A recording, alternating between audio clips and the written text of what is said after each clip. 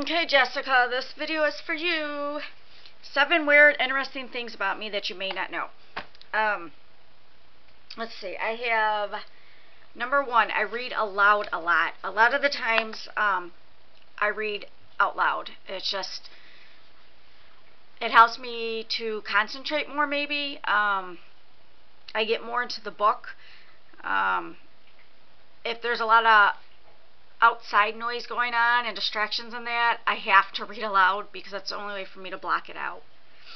Um, two, I can never have just one. Okay, if I'm going shopping, um, just for fun, not for things that I need, but just for fun, if I only end up with just one thing in the cart, I won't get it.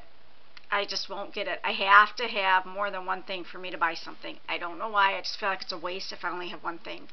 So, three. Um, oh, the volume on my car radio. The kids always mess with me. They say that I'm, um, oh, autistic, I think, is what they tried to tell me I am because the volume on my car radio has to be set at like 20, 25, 30, 35, you know, something like that. I can't, it cannot be on 23. It cannot be on 37.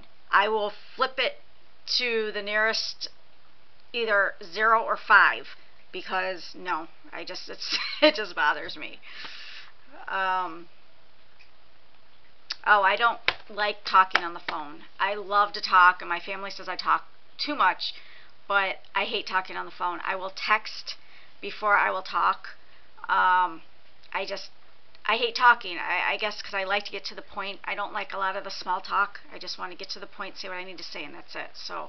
Um, Except for when I call my husband, I'll call him like 20 times a day just to say nothing. Um, it's very hard for me to sit through a movie. Like tonight, my husband and son are watching Rush Hour 3, and they said, Do you want to watch it? And I said, Nope. And my husband said, That's what I thought, but I thought I'd ask you. It's very hard for me to sit through a movie. I do not have a long attention span. My mind starts to wander. Um, I mean, some movies I can, you know, especially if it's an action movie, um, because you know there's always something going on. So, but it just it really depends on what it is. And let's see. Oh, I am a cover whore, big time. Um, if you read that part on my blog about covers, I will not buy a book if I don't like the cover. I don't care if it's supposed to be the best book in the world. I will not buy it if I don't like the cover. I have to like the cover. Um, and then the last one, Mr. Dragon, you know my dragon. Um, I get teased for this too because I let him sleep with me. Um, yeah, I baby him. I love him so much. Like he's just like a stuffed animal because he doesn't do anything, but I love him. Um, and a lot of times he just lays in bed with me. Like right now, he's.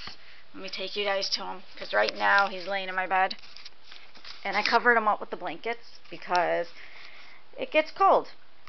So there he is. Mr. Dragon. He's sleeping all covered up. And a lot of the times I forget he's there and I fall asleep. And the next morning he's still in bed sleeping. So, and I'm usually up before him.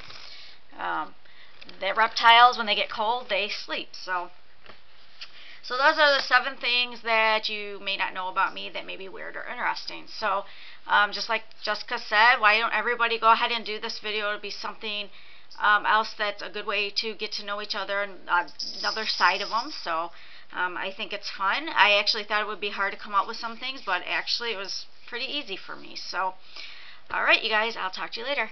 Bye.